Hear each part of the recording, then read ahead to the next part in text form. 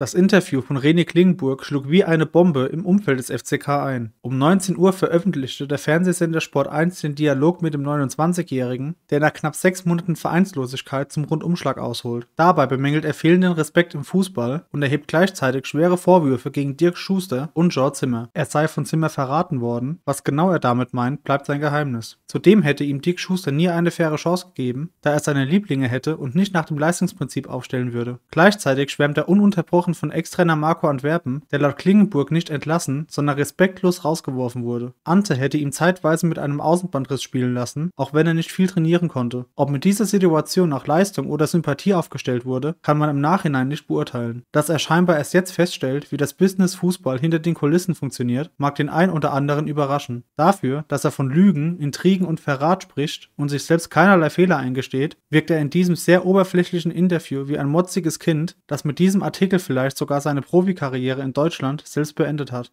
Die Zukunft von Nicolas Depreville ist zum aktuellen Stand noch nicht geklärt. Zwar wurde der Franzose am letzten Spieltag gegen Fortuna Düsseldorf offiziell verabschiedet, doch das letzte Wort scheint ähnlich wie bei Leihspieler Robin Bormuth noch nicht gesprochen zu sein. Der 32-Jährige müsse nochmal in sich gehen, da er aktuell in einem Hotel weg von seiner Familie wohnt. Würde er weiterhin beim FCK bleiben, könnte es vielleicht sogar sein letzter Profivertrag sein, da er sich dann langfristig an den Verein binden würde. Gestern Abend berichtete die Bild von einem möglichen Wechsel von Lars Bünding und Dominik Schad zu Drittliga-Aufsteiger Preußen Münster. Schad wäre anscheinend die Alternativlösung, falls die Preußen Luca Zander vom FC St. Pauli nicht bekämen. Laut Bild könnte auch Bünding den Verein ablösefrei verlassen, was bei einer Vertragslaufzeit bis 2024 eher weniger Sinn machen würde, außer der FCK würde nicht mehr mit ihm planen. Es bleibt abzuwarten, ob sich dieses Gerücht bewahrheiten wird. Wenn dir das Video gefallen hat, lass gerne ein Like und ein Abo da.